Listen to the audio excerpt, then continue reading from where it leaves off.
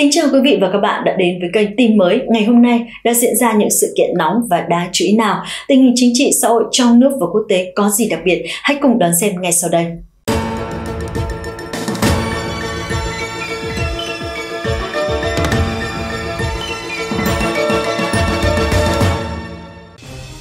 Xin chào mừng quý vị và các bạn đã theo dõi trên tin mới. Thưa quý vị, trong chương trình ngày hôm nay tin mới xin được tiếp tục truyền đến quý vị khán giả những thông tin mới nhất liên quan đến tình hình mưa lũ tại Trung Quốc và đặc biệt là việc có thể chính quyền Trung Quốc đã đưa ra những thông tin không đúng về đập Tam Hiệp. Mời quý vị và các bạn cùng theo dõi ngay sau đây. Mưa lũ sẽ kéo tới các khu vực phía Bắc sau khi nhấn chìm hơn nửa miền Nam Trung Quốc – Nhân dân Nhật Báo tuần qua đưa tin, giới chức Trung Quốc cảnh báo khả năng mưa lũ sẽ kéo theo tới các khu vực phía Bắc sau khi gây thiệt hại nghiêm trọng ở miền Nam.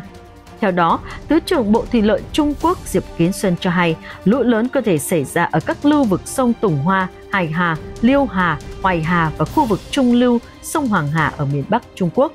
Trong khi đó, Tân Hoa Xã cho hay Trung Quốc đang trải qua đợt lũ lụt nghiêm trọng ở khu vực Hồ Bà Dương thuộc tỉnh Giang Tây do mực nước tại hồ nước ngọt lớn nhất này vẫn ở trên mức báo động. Trong bối cảnh những cơn mưa xối xả gây lũ lụt trên lưu vực sông Trường Giang, mực nước tại trạm thủy văn Lương Sơn của hồ đã tăng lên 22,6 m lúc 10 giờ sáng thứ hai, phá vỡ kỷ lục 22,52 m năm 1998 và cao hơn mức báo động 19 m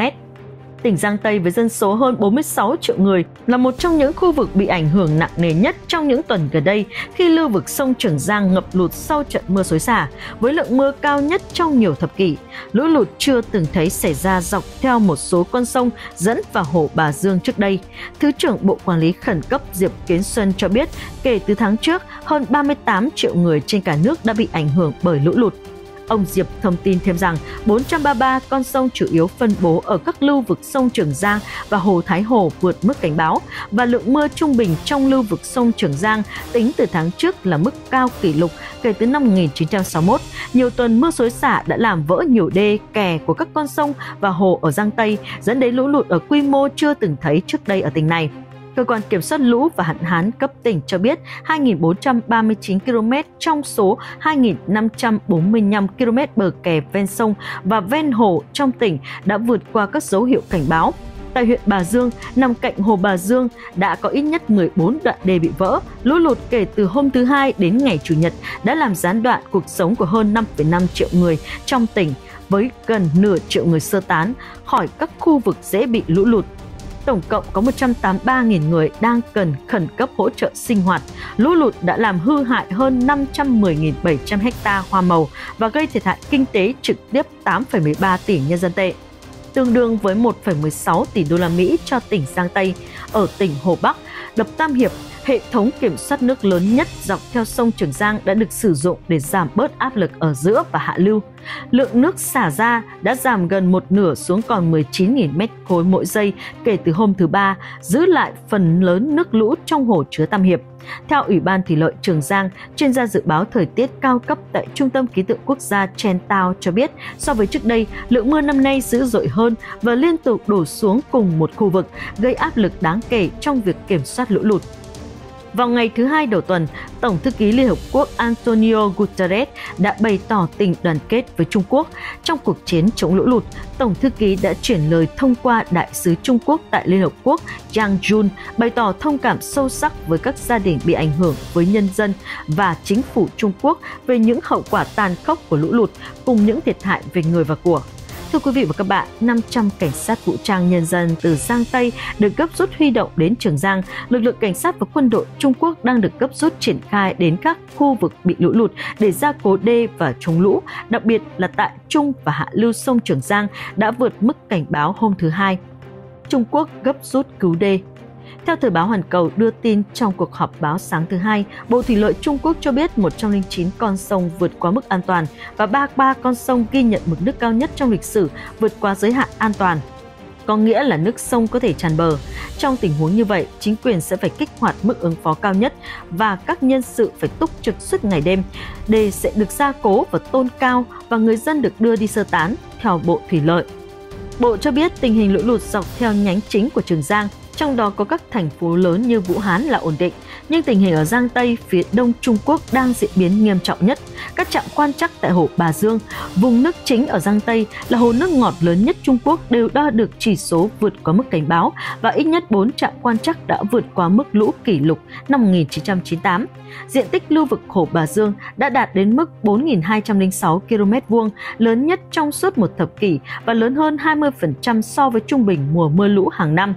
Tại khu vực quanh Wegudao ở trấn Bà Dương, các hoạt động khẩn cấp đang được tiến hành để khắc phục sự cố vỡ đê với sự tham gia của 300 nhân viên xây dựng, 25 máy móc và 150 phương tiện. Thời báo Hoàn Cầu dẫn lời của ông Jiang Mingguang, Kỹ sư trên tuyến đầu chống lũ cho biết hôm thứ Hai, nước lũ từ hồ tràn vào và bao vây khu vực Wenguidao hôm thứ Tư tuần trước, làm ngập 62 km vuông đất nông nghiệp và 6 ngôi làng. Hơn 10.000 dân làng đã được sơ tán. Kỹ sư Jiang nói đoạn đê vỡ dài 127 m đã được khắc phục xong vào tối thứ Hai, sớm hơn so với dự tính và cho biết lực lượng chức năng đã chia làm 2 ca thay nhau làm việc suốt ngày đêm không nghỉ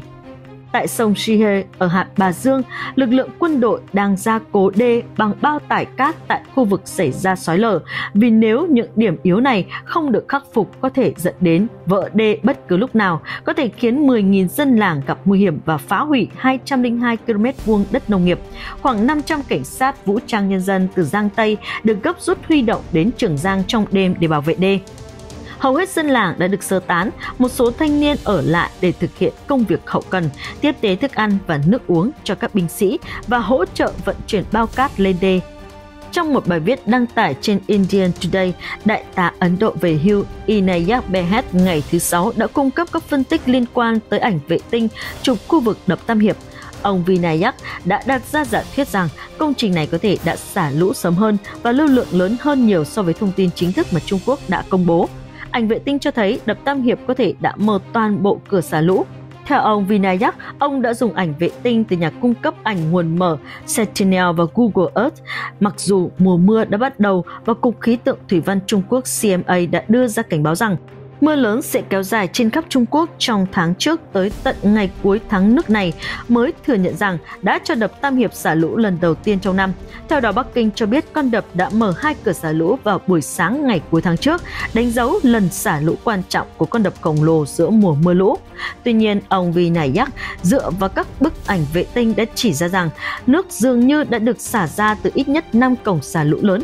và từ 5 cổng xả lũ nhỏ vào 5 ngày trước đó. Trong khi đó, trạm giám sát thủy văn thành phố Trùng Khánh lần trước đã phát đi cảnh báo lũ lần đầu tiên trong 83 năm đối với sông Kỳ Giang, một nhánh sông của Trường Giang. Xét tới việc Kỳ Giang là một nhánh của sông Dương Tử, có thể đoán được lượng nước trong các hồ chứa ở Tam Hiệp sẽ tăng mạnh trong những ngày mưa lớn, trong khi trên thực tế, theo ông Vinayak, Mực nước ở hồ chứa vào hai ngày trước khi lũ lụt kéo tới lại thấp hơn khoảng 15 mét so với mực nước vào ngày 27 tháng 10 năm 2017 khi tất cả các cổng xả lũ đều đóng. Một số đoạn video đăng tải trên mạng xã hội cho thấy thành phố Nghi Sương, Hồ Bắc nằm dưới đập Tam Hiệp dường như đã bị lũ lụt. Dư luận lúc này xuất hiện giả thuyết rằng lũ lụt là kết quả của việc mở cửa xả lũ quy mô lớn để giảm áp lực lên đập Tam Hiệp. Tuần trước, kênh CGTN của Trung Quốc nói rằng đập Tam Hiệp đã mở 3 cửa xả lũ vào một ngày trước đó. CGTN cũng cho hay tốc độ dòng chảy lũ và đạt 50 mét khối trên giây, trong khi tốc độ dòng chảy ra đạt mức trung bình là 35 mét khối trên giây. Điều này được cho là làm giảm 30% lưu lượng đỉnh của sông Trường Giang, làm giảm áp lực một cách hiệu quả với việc kiểm soát lũ ở khu vực trung lưu và hạ lưu sông. Tuy nhiên, theo ông Vinayak, một ảnh vệ tinh chụp từ hôm thứ Năm tuần trước cho thấy dường như toàn bộ các cửa xả lũ của con đập có thể đã được mở mưa lớn và lũ lụt đang làm ảnh hưởng tới hàng chục triệu người Trung Quốc, gây nên thiệt hại hàng tỷ đô la Mỹ về mặt kinh tế. Khoảng 140 người đã thiệt mạng hoặc mất tích vì lũ lụt tại Trung Quốc, theo số liệu chính thức.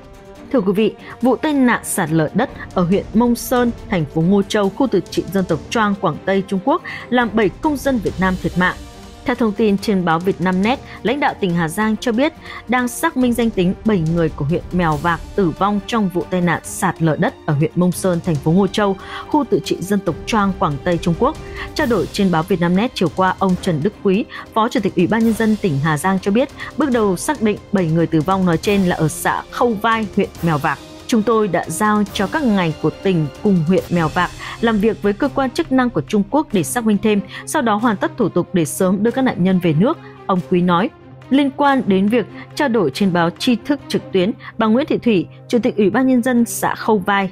cho biết ngay sau khi nhận được thông báo, chính quyền địa phương đã cử cán bộ vào cuộc xác minh trên toàn địa bàn. Tuy nhiên, việc xác minh đang gặp rất nhiều khó khăn. Địa bàn xã có tất cả 12 thôn, dân số trên 7.000 nhân khẩu. Do không có hình ảnh, chỉ dựa vào bản danh sách thống kê tên tuổi nên chúng tôi rất khó xác minh vì họ là dân tộc. Tên gọi giống nhau, bà Thủy nói. Thông tấn xã Việt Nam dẫn nguồn thông tin từ Tổng lãnh sự quán Việt Nam tại Nam Ninh, Trung Quốc cho biết, theo thông tin do Công an tỉnh Quảng Tây, Trung Quốc cung cấp, 7 công dân Việt Nam đã thiệt mạng trong đợt lũ quét sạt lở tại huyện Mông Sơn, thành phố Ngô Châu, tỉnh Quảng Tây, Trung Quốc.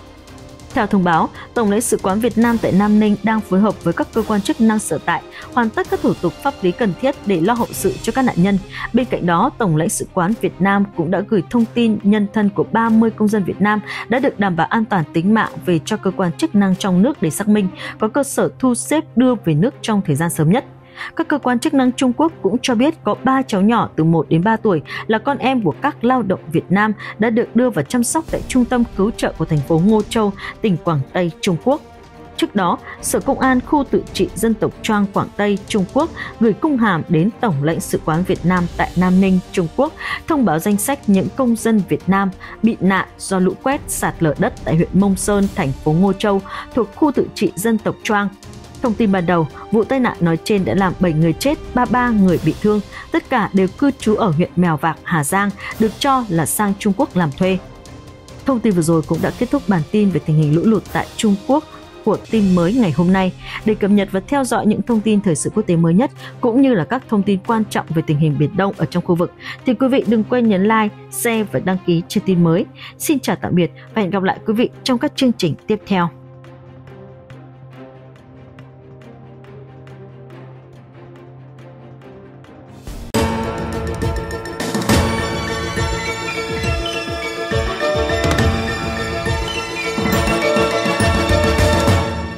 Bản tin vừa rồi cũng đã kết thúc chương trình ngày hôm nay của tin mới. Cảm ơn quý vị và các bạn đã chú ý theo dõi. Mọi ý kiến đóng góp của quý vị hãy để lại trong phần bình luận video này để chúng tôi có thể kịp thời giải đáp. Còn bây giờ, xin chào và hẹn gặp lại.